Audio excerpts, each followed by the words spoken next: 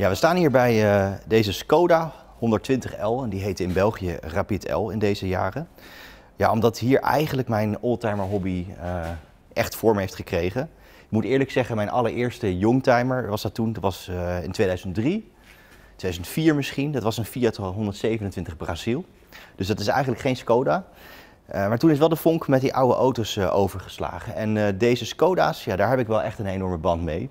Daar, uh, daar liggen mijn vroegste jeugdherinneringen. Uh, op het gebied van auto's moet ik zeggen. Wij woonden toen naast mijn oma en opa in Den Haag. En uh, mijn oma had op latere leeftijd haar rijbewijs. Haar eerste autootje was geen Skoda, het was een Ford Escort uit 73. Maar vlak daarna kwamen al Skoda's. Ja, en dat was dit type Skoda. Ja, die, mijn opa deed boekhouderswerk bij de Skoda-dealer. En mijn oma kon voor weinig, denk ik, zo'n bijna nieuwe Skoda krijgen. Dus ja, hartstikke leuk, leuk autootje. En die mochten wij lenen, want wij woonden ernaast als gezin. We hadden zelf geen auto. Dus deze lenen we op vakantie, eh, voor vakanties naar Hongarije, eh, naar Joegoslavië. En eh, ja, fantastisch. Als kind zat je op de achterbank, luister je door die roostertjes zeg maar, in de hoedenplank, luister je daar naar de motor. Rook je het zelfs een beetje. Ja, die hele beleving is fantastisch met deze Skoda's. Ooit begonnen die passie in 2005, toen ik er weer één tegenkwam na zoveel jaar. Ja, en toen ik deze tegenkwam in 2010, 29.000 kilometer op de klok. Een auto uit 1983, ja, toen was ik verkocht. Ook nog eens in het geel, mijn lievelingskleur. Ja, fantastisch. Ja, deze hobby hè, die is eigenlijk een beetje uit, uh, uit de hand gelopen. Het begon met één uh, klassieker, zo gezegd. Hè, die Fiat 127. Die was vrij snel alweer weg overigens. Dat bleek helemaal niet goed te zijn. Verroest, wel een superleuke auto. Maar ja, dan ga je verzamelen, verzamelen. En van één wordt er twee, wordt er vier. Dan wil je eigenlijk vooral Skoda's hebben, althans dat wilde ik. Maar ik vond eigenlijk al die andere auto's uit de jaren 80 en 90, ja, dat vond ik eigenlijk ook heel erg leuk. Oude Fiat's, oude Lada's, oude Opels, maakt niet uit wat. Ja, dus uh, zo ben ik gaan verzamelen. Elke keer die vraag, wat moet je toch met zoveel auto's? Want je kunt er maar in één tegelijk rijden en waar laat je ze? Dat zijn eigenlijk de twee geëikte vragen. Maar ja, het is een passie en uh, je wil dan gaan verzamelen. En zo is het idee ontstaan om uiteindelijk een keer in de toekomst, en daar ben ik al mee begonnen, een, uh, een leuke hal met auto's. Uh, Youngtimer World heet het nu. Dat kun je ook volgen op Facebook en, en Instagram. Ja, om eigenlijk een museumvoorraad aan te leggen. Ja, en dat is oneindig. Dus dan heb je ook meteen een mooie excuus om zoveel mogelijk auto's te verzamelen. En het liefste van elk merk één of twee. Ik heb natuurlijk wel voorkeur, zoals je misschien ziet straks, uh, voor Skoda en Oostblok, voormalig Oostblok auto's.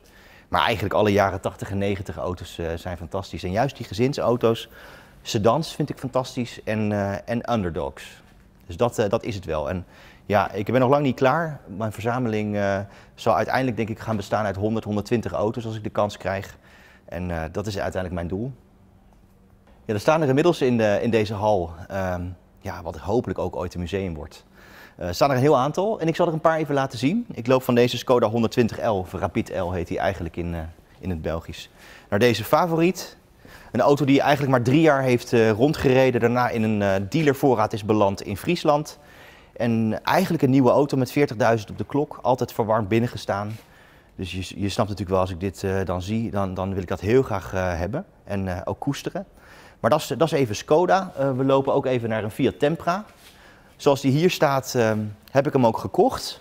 Ik heb er ook nog niks aan gedaan. Ik heb hem nog niet gepoetst. Deze wordt echt heel netjes.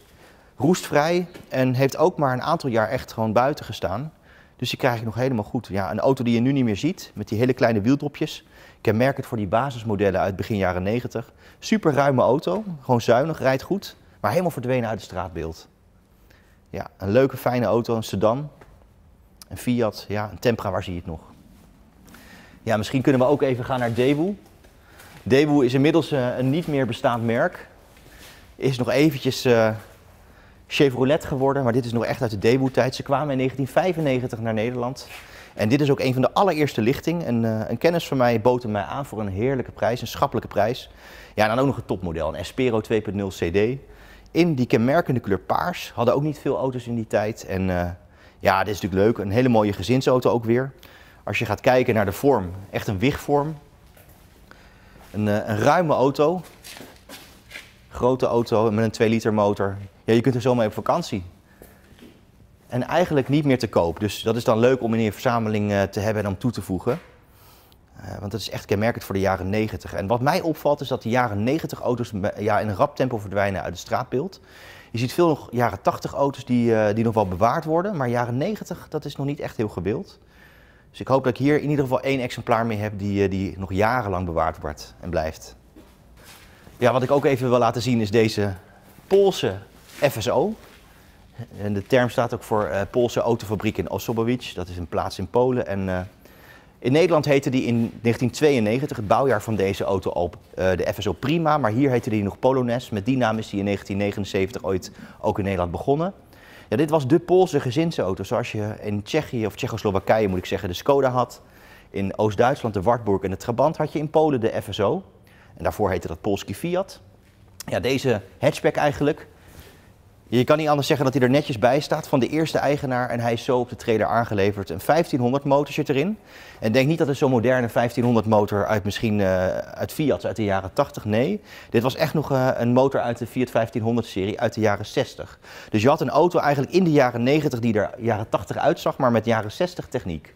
Ja, hoe leuk is het? Het rijdt als een vrachtwagen, maar daarom niet minder, uh, niet minder prettig. Sterker nog, eigenlijk heel leuk. Hij wil vooral rechtdoor. Een bocht moet je niet in willen met deze auto. Maar ja, waar zie je het nog? En uh, die kleur is ook echt kenmerkend. Veel van die FSO's zijn in het wit of in het bordeaux-rood geleverd. En zo ook deze. Geen stuurbekrachtiging, het stuurt loodzwaar. De eerste keer dat ik hier mijn zusje in liet rijden, zei ze volgens mij is die stuk, want hij stuurt niet. Ik zei hij stuurt wel. Hij heeft geen stuurbekrachtiging. Je moet er met je volle gewicht aan gaan hangen en dan wil hij de bocht door. Hier komen we aan bij uh, twee Skoda Felicia's. Een auto die eigenlijk niet bewaard wordt, nog door mensen, maar waar ik een zwak voor heb. Omdat het uh, in mijn ogen een van de meest ondergewaardeerde Skoda's uh, is. Ja, hele beproefde techniek. Volkswagen bemoeide zich er al mee. Daar werden ze niet per se veel beter door. Dat wordt wel gedacht. Maar uiteindelijk wel een fijnrijdende, heel praktische auto. Zuinig, laag in gewicht, dus weinig wegenbelasting. Ze roesten behoorlijk hard.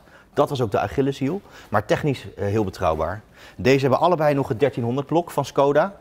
Dus wat nu in de oude 120, 130 modellen het blok was, zat hier ook nog in, maar dan met injectie. Deze komt uit België, deze donkerblauwe, een Unilac. En deze in de introductiekleur, staalblauw. Ik weet niet of dat de officiële naam is, maar dat is in ieder geval de introductiekleur 94. Daar is deze ook inderdaad in geleverd, een 1300 GLX. Met ook echt het oude Skoda blokje, maar oerbetrouwbaar.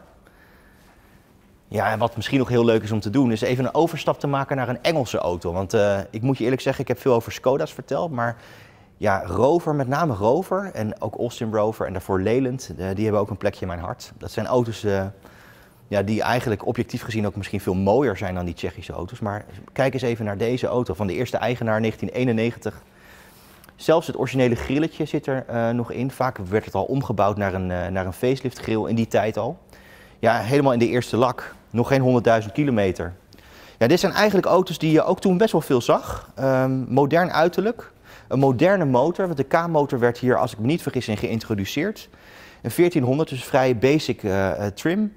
Maar een nette auto, een nette, fijne auto, luxe bekleding. Ja, je rijdt er gewoon goed bij in die tijd. Ja, van de Rover is het ook leuk om weer van een Engelse auto naar een Franse auto te gaan. Uh, ja, een auto die... ja, die je ook heel veel zag in het tijdsbeeld in de jaren 90, was de Renault 19.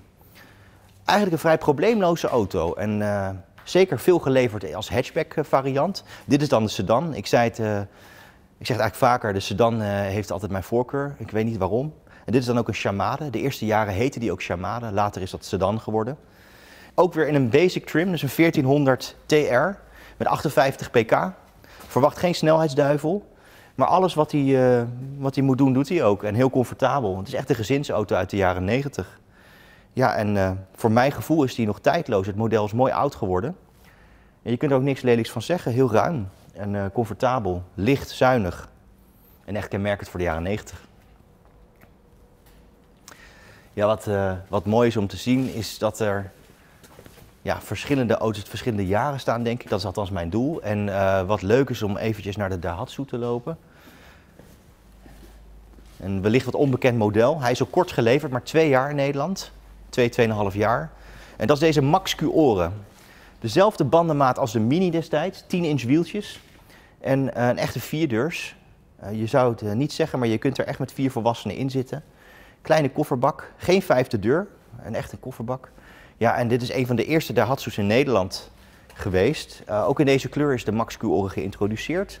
Als je de uh, test er nog bij pakt uit 1978, dan zul je zien dat deze in deze bruin metallic kleur is geleverd.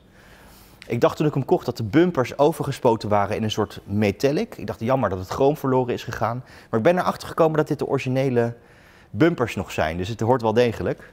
Ja, en, en alles doet het nog. Het is een auto die eh, meer dan 40 jaar oud is. Maar uh, ja, het rijdt, het rijdt prima. Het is een tweecilindertje. Dus ja, snel is het niet. Maar het weegt ook niet zoveel. Het is eigenlijk een, ja, een auto in mini-formaat. 3 meter ongeveer. En ja, eigenlijk wel een voorloper van de Q-oren die we allemaal kennen. En deze heette dan als eerste variant de Max Q-oren. Ja, we lopen dan ook weer even naar een aantal Engelse auto's toe. Een Rover uh, eh, 400 Series Tourer. Eigenlijk nog een nieuwe auto. Ik heb deze kunnen krijgen via ja, de Austin Morse Wolseley Riley Club. Austin Morse Wolseley Riley register. En uh, ja, de eerste eigenaar was overleden. Zijn vrouw volgens mij ook. En die hebben hem nagelaten aan de club. En uiteindelijk eh, kon ik de auto voor een heel mooi bedrag overnemen. Met de belofte dat ik hem zou koesteren en dat ik hem APK-waardig zou houden. En dat doe ik ook. Een auto met uh, net iets meer dan 40.000 op de klok. En ja, in die tijd een hele chique verschijning. Rovers waren best kostbare auto's in die tijd. Maar je had er dan ook wel een auto voor met, met, met een mooie opsmuk. Chroom. Vaak sprekende carrosseriekleuren. Achter mij de auto waarvan eh, heel veel mensen zeggen, ah, dat is toch die auto van eh, Keeping Up Appearances, van Hyacinth en Richard. Nou, dat is hem ook. In dit geval in het rood. De auto is eh, van mijn partner. En ja, in die zin een, een heerlijke auto uit die tijd, 1989. De Engelse Rover motor, of de Engelse Rover motor zit er nog in, de 1600 motor. En ja, dat is een auto waar, die voor mij kenmerkend meer is voor de jaren 80. Die zie je aan de wat vierkante vormen. Uh, inderdaad heel bekend uit die serie. En uh, ja, ook van de eerste eigenaar die hem heeft nagelaten aan de, aan de garage waar hij altijd in onderhoud was. Die heeft hem uit pietijd nog 15 jaar bewaard. En uh, uiteindelijk konden wij hem overnemen, uh, ook weer met de belofte er goed voor te zorgen. En de auto heeft net iets meer dan 70.000 kilometer op de klok. We hebben er nog niet veel mee uh, durven rijden. We gaan er ook niet meer mee rijden, want eerst moet de distributieriem vervangen worden. Want volgens ons is die nog nooit vervangen en dat is wel belangrijk bij zijn auto.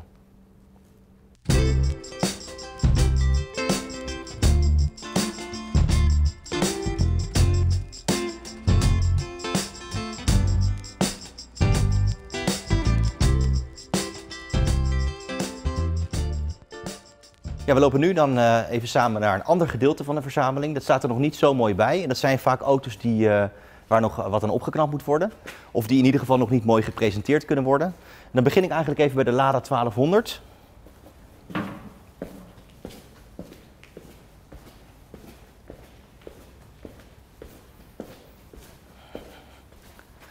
Een originele Lada 1200S uh, uit 1988. Ik loop maar even zo om de bescherming eraf te halen. Ja, misschien in deze dagen wat omstreden omdat het een Russische auto is, maar wie kent hem niet, de Lada? En uh, een uh, serieus laatste uitvoering met katalysator. Daar zijn ze dus ook nog mee geleverd. Ook weer 40.000 kilometer. En van twee zussen, eh, die, waarvan de een de buitenkleur mocht uitzoeken en de ander de, de binnenkant. En zo zijn ze op deze bruin, met bruine combinatie uitgekomen. Ja, in deze tijd gewoon heel leuk. En ik denk voor heel veel mensen herkenbaar als auto uit die tijd. Weliswaar als low-budget auto, want dit was een van de goedkoopste auto's naast de Skoda 105S. Voor ongeveer 10.000 gulden die je toen kon kopen in 1988. Maar heel leuk om te hebben. En wat ook gaaf is, denk ik, om nog even een eh, speciale Engelse auto te laten zien die helemaal body-off gerestaureerd is. En dat is deze Princess 2200 HLS met handbak. Het is een origineel Nederlandse auto. En dit heeft bijna het huwelijk gekost van iemand. Ik zal verder de details uh, niet noemen.